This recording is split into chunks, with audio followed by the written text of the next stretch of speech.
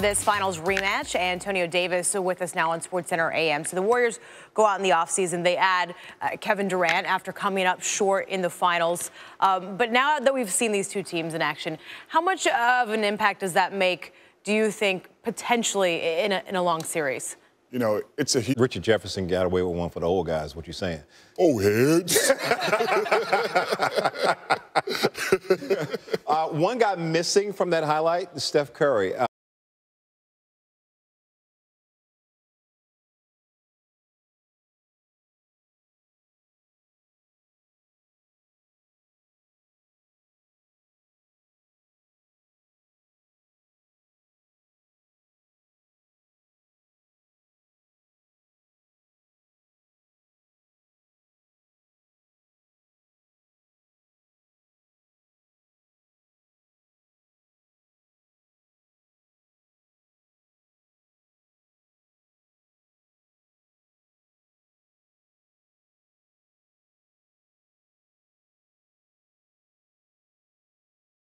Okay. I think I think you should. I think the I, whole I show. think you need to be quiet.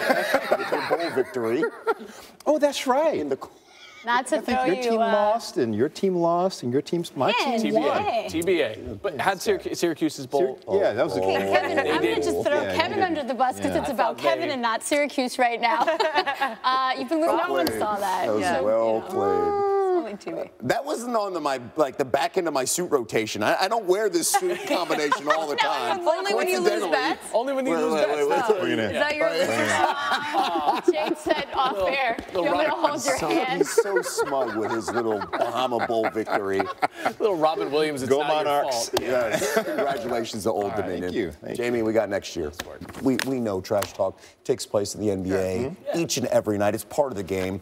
Um, according to uh, Calvin Watkins, he says that Mejri made a derogatory comment about Ariza's wife Uh-oh. and children between the third and fourth quarter. He went after the kids? yes. Okay, I'd have words with Mejri after that. Yes. You talk about someone else's kids, I got an issue with that. I mean, that's the line, right? That prompted There are a few after the lines there. game. So that was the fourth time they played already this season. So Right. they won't meet again until next season. So who They knows? won't forget. It might it might calm down a little bit, maybe. It de- Right? yeah, it- Yeah. It, depends how the rosters look this time next season. And we'll see how the NBA reacts later on today because when you see a player go to the opposing locker room with security guards, you know something's about to go down. Were the security guards there to be witnesses, or the guys that go, "Hey, hold me back, Yeah, yeah. hold me back"? Maybe. Maybe.